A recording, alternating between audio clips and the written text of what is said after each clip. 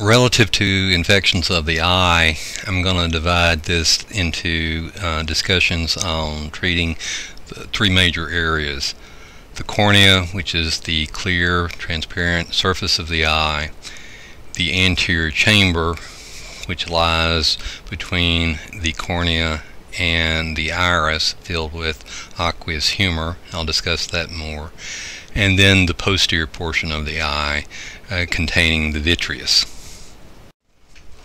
For treatment of the cornea, I kind of um, divide this into uh, topical, subcon uh, subconjunctival, or systemic. The vast, vast majority of the time we use topicals to treat the cornea. Um, triple antibiotic still is out there. It's bacitracin, neomycin, and polymyxin B. Um, provides good broad coverage, bacitracin for your gram-positives, neomycin for your staph, and a lot of your gram-negatives, and polymyxin B for your gram-negatives and pseudomonas. Uh, typically, I don't rely so much on it for uh, serious infections, but I will uh, use it in uh, milder keratitis infections, this sort of thing, prophylactic scenarios, this sort of thing. One issue to be familiar with is that there are some concerns that cats might be unusually allergic to a component of triple antibiotic, uh, such that some feline practitioners either don't want to prescribe it or uh, do so uh, with some caution. So the science behind this, how uh, much evidence supports this is unknown but it may be prudent to observe the cat uh, for the first 30 to 60 minutes after the first application of triple antibiotic to make sure there's no allergic reactions. Okay. Uh, and um, all these topicals you're going to want to apply no less than TID three times a day. Um, more commonly QID. Uh, other good ones to use for the cornea are chloramphenicol or a fluoroquinolone. We have no veterinary approved fluoroquinolone ophthalmics, but we certainly use the um, the human products. Okay, these also have the advantage, as you'll see in subsequent slide, of penetrating into the anterior chamber. But these are very good products. Um, for serious infections, particularly where Pseudomonas is of concern, either a fluoroquinolone or an aminoglycoside is very commonly used. Okay, now um, uh, the aminoglycoside in veterinary medicine will use gentamicin, but increasingly we'll use tobramycin. Tobramycin is a human-only ophthalmic uh, with very good activity against Pseudomonas.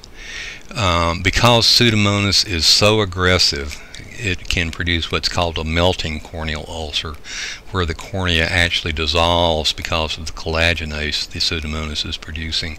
We'll be applying um, tobramycin uh, or fluoroquinolone drops hourly. Um, it's not uncommon for that reason to um, put in a palpebral catheter and set up a constant rate infusion of the antibiotic uh, to bathe the cornea. This is especially true in horses. Uh, Pseudomonas, because of that collagenase, will, will um, add acetylcysteine, sodium EDTA drops, uh, or quite commonly autogenous serum to try to neutralize that collagenase and inhibit damage to the cornea. Now, uh, if a palpebral catheter is not an option, one way of providing um, continuous antibiotic to the surface of the cornea is to go with subconjunctival injections. And here this is uh, where you take a small gauge needle, typically no bigger than a 25 gauge needle, and inject a small quantity of the antibiotic uh, on the bulbar conjunctiva after um, local anesthesia, and in small animals, oftentimes short-acting general anesthesia. Um, the antibiotic then leaks out of that small injection puncture to bathe the uh, cornea in antibiotic for 24 to 48 hours depending on the drug. Now you have to use a uh, non-irritating uh, drug if you're going to inject it subconjunctivally and mostly this has been aminoglycosides such as amikacin. In uh, large animals penicillin G has been used it's actually written up in humans as well but uh, more commonly we'll see uh, amikacin or tobramycin injected subconjunctivally okay uh, and systemic medications may be added to the topical if it's severe. Uh, most of the antibiotics will enter into the tears to some degree and um, uh, provide activity on the cornea.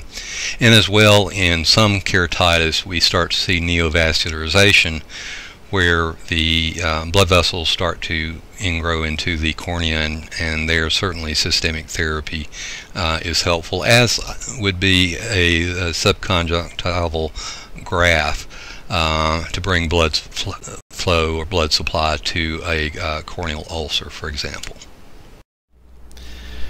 Now the next structure of the eye I'm going to talk about is the anterior chamber. Remember uh, from an anatomical viewpoint, you have the cornea. Uh, then deeper to that, you have the anterior chamber, which is full of the clear fluid called aqueous humor. Then you have the iris, and then behind the iris is the posterior chamber with the ciliary body. The ciliary body does two main things. It uh, focuses the lens and it produces the aqueous humor that flows through the pupil into the anterior chamber and then is reabsorbed um, at the iridocorneal uh, angle. Okay, and then deeper to that we have the vitreous body or vitreous humor uh, and then the retina. Okay, so uh, when we have inflammation of the anterior chamber and or infection. This is sometimes referred to as an anterior uveitis because it involves typically the uveal tract with the, uh, the iris and ciliary body. Okay. How do you know if you have uh, an infection in the anterior chamber? One tip off is that when you shine a light, normally it should be clear and uh, there should be no interference with that light going from the cornea through the iris back to the retina. If you're seeing a uh, fuzziness or flocculence, particularly uh, if you uh, view this sideways with the light, you'll see little uh, sparkles where the light is hitting pieces of protein and cellular debris. This is sometimes called aqueous flare and it's an indication of inflammation in the uh, anterior chamber which can be infection. Now there are non-infectious causes of anterior uveitis particularly in the horse. There's a disease called periodic ophthalmia but in this case we're talking about infections okay? Now we can treat an anterior uveitis uh, infectious anterior uveitis either topically and or systemically now to treat it topically, obviously we need a drug that will cross the cornea into the anterior chamber aqueous fluid. And there we have a limitation. Really the only two things that do this appreciably are topical chloramphenicol and topical uh, and topical fluoroquinolone. Okay. Both will penetrate the anterior or the intact cornea into the anterior chamber. Usually we're also going to treat systemically and the blood aqueous barrier is almost identical in anatomy to the blood-brain barrier. So the same sorts of drugs that penetrate the blood-brain barrier are used to penetrate the blood aqueous barrier. So again, human third-generation cephalosporins, carbapenems, um, chloramphenicol, fluoroquinolones, and TMS, particularly the veterinary form of TMS though uh, certainly the fluoroquinolones are used a lot in this regard, but any of these could be done. Okay, so that's the anterior chamber. Now the vitreous is very difficult to penetrate and luckily it's fairly uncommon that we have vitreal infections. Uh, again, the same uh, penetration issues exist. Here, systemically, we would use those same drugs, fluoroquinolone, chloramphenicol, or carbapenem.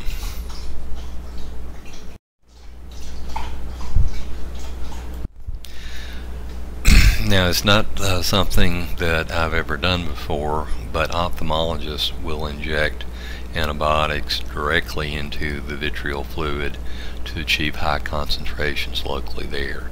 And here are just some examples uh, in the amounts of antibiotics that have been injected directly into the uh, vitreous of the eye.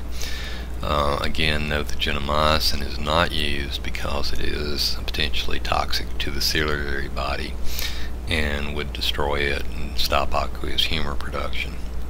But a variety of other things can be injected. Again, typically this is a, uh, a referral scenario. Uh, I addressed uh, use of voriconazole for topical corneal infections. Uh, deeper tissues, we have to use an antifungal that penetrates. That could be either fluconazole or voriconazole, either one. Uh, both do well. Voriconazole has the advantage of the enhanced spectrum if you're not sure what you might have, such as wondering if there's an aspergillus. Fluconazole certainly uh, the, the uh, lesser expensive of the two. Uh, unfortunately, uh, oftentimes the disease is fairly well advanced, so whether or not you can save the eye, uh, I would be a little uh, doubtful, but that's something to talk with an ophthalmologist about.